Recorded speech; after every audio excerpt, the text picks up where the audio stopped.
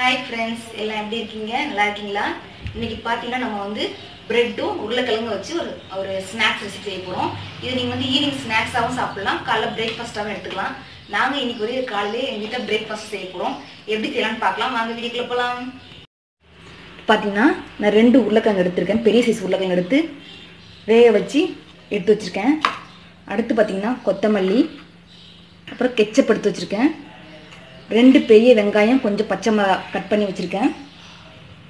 அடுத்து கொஞ்சமாக கோதுமை மாவு எடுத்து வச்சுருக்கேன். பிரெட் எடுத்து வச்சுருக்கேன். எப்படி செய்யலான்னு பார்க்கலாம். பார்த்தீங்கன்னா உருளைக்கிழங்கு நல்லா மசிச்சு எடுத்துக்கிட்டேன். இப்போ பார்த்தீங்கன்னா ஸ்டவ் ஆன் பண்ணி பேன் வச்சுட்டேன். பேன் வச்சுட்டு ஒரு ஒன்றரை ஸ்பூன் அளவுக்கு எண்ணெய் சேர்த்துக்கிறேன்.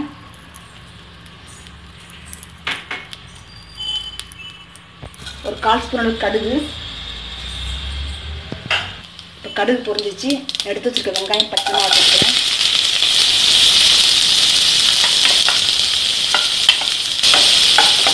வெங்காயம் நல்லா செவந்து வரட்டும். நல்லா வதக்கலாம் அடுத்து கொஞ்சமாக கொத்தமல்லி கொடுத்துக்கிறேன்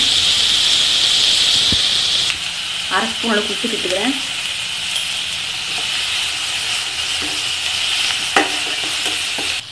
அரை ஸ்பூன் அளவுக்கு மஞ்சள் கொடுத்துக்கிறேன் அரை ஸ்பூன் அளவுக்கு மிளகாத்தூள் சேர்த்துக்கிறேன். ஏன்னா பச்சை மிளகா போட்டிருக்கோம் கொஞ்சம் மிளகாத்தூள் கம்மியாக சேர்க்குறோம். கால் ஸ்பூன் அளவுக்கு கரம் மசாலா. கால் ஸ்பூன் அளவுக்கு ஜீரகத்தூள். கால் ஸ்பூன் அளவுக்கு காஷ்மீர் மிளகாத்தூள் சேர்த்துக்கிறேன். அடுத்து பார்த்திங்கன்னா நம்ம மஸ்ட் வச்சுருக்க உருளைக்கிழங்க ஒன்று ஆட் பண்ணிக்கலாம். இப்போ நல்லா அந்த மசாலாவோட ஒரு பெரட்டு பெரட்டி எடுத்துக்கலாம். இப்போ ரெடி ஆயிடுச்சு நான் ஸ்டவ் ஆஃப் பண்ணிட்டேன். இதை ஒரு வேறு பாத்திரத்துக்கு மாற்றிக்கிறேன் பார்த்தீங்கன்னா வேறு பாத்திரத்துக்கு மாற்றி வச்சுட்டேன். கோதுமை மாவில் கால் ஸ்பூன் அளவுக்கு மஞ்சள் சேர்த்துக்கிறேன். கால் ஸ்பூன் அளவுக்கு மிளகாத்தூள். கால் ஸ்பூன் அளவுக்கு கரம் மசாலா. கால் ஸ்பூன் அளவுக்கு கேஷ்மீர் மிளகாத்தூள் சேர்த்துட்டேன். கொஞ்சம் கொஞ்சமாக தண்ணி சேர்த்து நான் கட்டி இல்லாமல் அதை கரைச்சிக்க போகிறேன்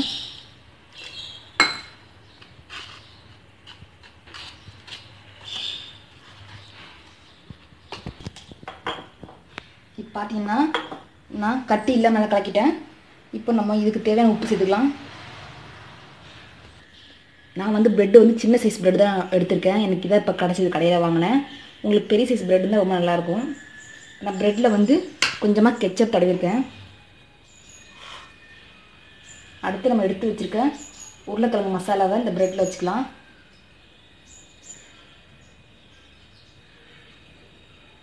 வச்சுட்டு இன்னொரு ப்ரெட் எடுத்து அதுலேயும் கெச்சப் தடவி வச்சுருக்கேன்.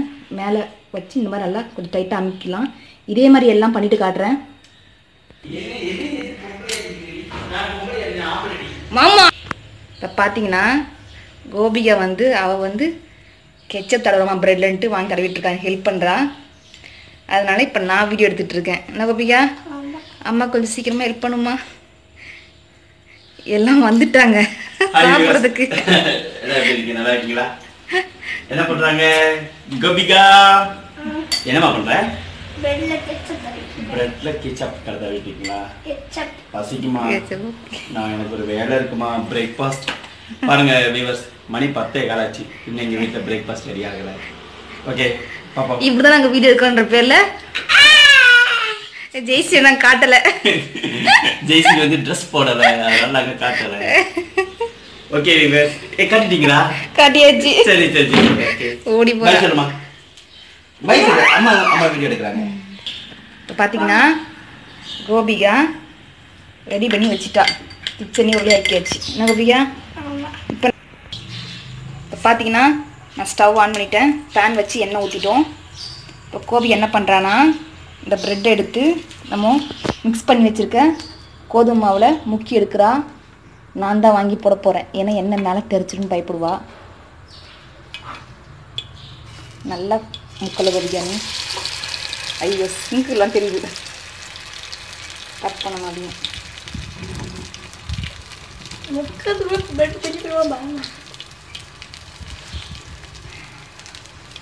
அடுத்த பீஸ் கையெடு கோபிகா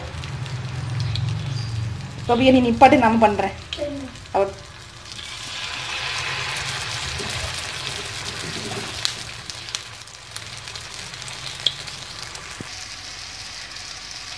பார்த்தீங்கன்னா நான் மூணு பீஸ் வச்சுருக்கேன் ஒரே நேரத்தில்.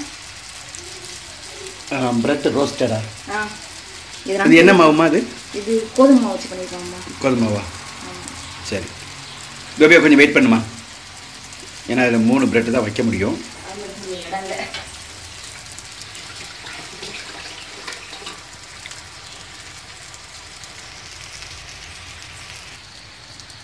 பார்த்தீங்கன்னா ஒரு பக்கம் வெந்துருச்சு. நான் அடுத்த பக்கம் திருப்பிட்டேன். ஒரு பக்கம் நல்லா வெந்துருச்சு. ஆமாம் ஓரளவுக்கு கருக வைக்காமல் எடுத்திருக்காங்க. வெந்ததுக்கப்புறம் அப்படியே திருப்பி வச்சுருக்கோம். இப்போ கீழே உள்ள அடிப்பகுதி வந்து வெந்துட்டு இருக்குது. திருப்பதுக்கு நான் ரெண்டு ஸ்பூன் யூஸ் பண்ணுறேன் ரெண்டு ஸ்பூன் யூஸ் பண்ணிட்டு இருக்காங்க இல்லைன்னா வரமாட்டேங்குது. பார்த்து பார்த்து மேலே. வழுக்குது. வலிட்டு போகுது. என்னம்மா டான்ஸ் ஆடுது போல தெரியுது பிரெட்டு. கோபியா நீ எப்படி நினைக்கிற? டேஸ்ட்டாக இருக்குன்னு நினைக்கிற? எப்படி? நல்லா இருக்கும் என்னம்மா? என்ன எப்படி சொல்கிறீங்க நல்லா இருக்குண்ணே உப்பெல்லாம் கரெக்டாக போட்டிருக்கீங்களா? பசிக்குதுமா இப்பவுமே சாப்பிடணும் போல தோணுது. கோபியா. அப்படியா? இப்போ சாப்பிட்டா ப்ரெசன்டேஷன் பண்ணுறப்போ பிரெட் இருக்காதான் ஜெயஸ்ரீயோட நல்ல ஐடியா கோபிகா நீங்கள் என்ன நினைக்கிற? டேஸ்ட்டாக இருக்கும் பார்க்குறியா அப்படி? டேஸ்ட்டாக இருக்குமா. போதுமாம்மா வெந்துருச்சா? கட்டிங்க போடுங்க கட்டிங்க போடுங்க கட்டிங்க போடுங்க அம்மா. பார்த்தீங்கன்னா நம்ம ப்ரெட்டும் உருளைக்கிழங்கும் வச்சு ஸ்நாக்ஸ் பண்ணியாச்சு. ரொம்ப சாஃப்டாக நல்லா வந்திருக்கு. இந்த வீடியோ உங்களுக்கு பிடிச்சிருந்தா லைக் பண்ணுங்கள் கமெண்ட் பண்ணுங்கள் ஷேர் பண்ணுங்கள் மறக்காமல் எங்களோட சேனலை சப்ஸ்கிரைப் பண்ணி